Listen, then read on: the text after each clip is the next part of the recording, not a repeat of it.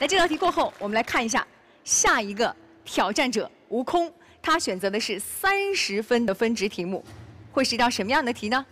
请看。传说龙生九子，各不相同，各有所好，请将上面文物中包含的神兽形象与它们各自的名称相连。请答题。C 是那个饕餮，他这里肯定答的对。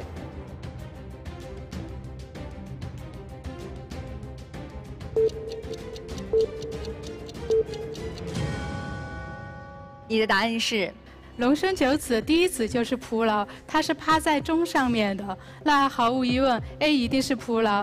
嗯，B 它的形象其实蛮确定的，就是酸泥。那 D 是我们古代建筑上特别明显的一个房顶上的螭吻。在 D 选好螭吻以后，那么 C 毫无疑问就是饕餮。所以这道题就作答完毕。答得清晰漂亮，那这是不是正确答案呢？祝贺你答对了。哇！我感觉今天三十分的题比我们天要简单一点。对对对。这样的话，悟空可以顺利的加上三十分，挑战成功。说到这个吃吻，可能有很多的观众会是第一次听到，到底什么是吃吻呢？我们在宋徽宗的瑞鹤图上就可以清晰的看到，天空中很多的仙鹤在飞翔，但是有两只停在了宫殿的屋脊的两旁，它们停留的位置就叫螭吻，所以这个就涉及到古代建筑的专有名词了。我们也请老师们来说一说。其实龙生九子啊，有各种不同的说法啊。我们一般呢，现在就是两类说法会比较多。你比如说，还有的大家一个囚牛，囚牛它是喜欢音乐的，所以在有一些这个乐器上面，一个雕刻的这个神兽，就像龙一样的，它其实它叫囚牛。还有呢，就是睚眦。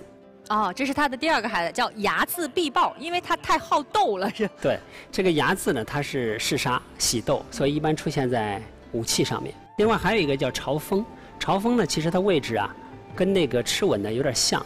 螭吻呢是在呃主脊的两端，这个朝风呢，它是好显好望，那是在边上，是在边上，在屋檐上面。还有一个是霸下，霸下也叫碧玺，就是一个碑，它其实像古代的这个石碑。头顶呢叫父系，下面的叫臂系，因为下面呢是像个乌龟一样，但这个龟呢跟平常的龟是不一样，它是有牙齿的，它是好负重，所以它就在碑座上面。那么父系呢是在上面，那是因为它好斯文。另外呢还有臂案，臂案是好诉讼。对，因为他喜欢仗义直言，所以经常在古代这个官衙的正堂门口两边都看得到壁案。对，因此龙生九子是各司其职，各有这个特点。所以这方面呢，就是说它不是一个非常固定的一种说法。但是大家了解了这方面龙生九子的含义啊，特别是到一些旅游景点呐，到一些博物馆呢去参观的时候，你就明白它为什么在这个位置上，它其实是不是瞎放的。